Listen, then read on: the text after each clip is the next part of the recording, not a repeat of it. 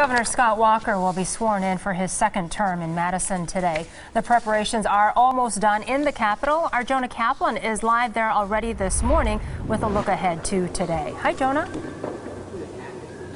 Susan, just about five hours to go until all the festivities begin at 11. Already a lot of activity going on. If you look behind me, you can see the podium is all set. They just hung up the seal of the great state of Wisconsin behind the podium where the governor will address the state today at his inaugural address. Again, 11 o'clock this morning when it will begin. Walker posted pictures on social media of his sons Matt and Alex during a walkthrough in the rotunda.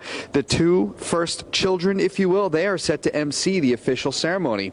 The governor also posted this photo signing the oath of office documents. The day will end with an inaugural ball later today at a place at a venue just a short walk from the Capitol. This is video from the ball four years ago at the same venue. Now, much speculation, of course, that this might be the first inauguration, maybe in another one a couple years from now, though, in Washington, D.C. later on daybreak.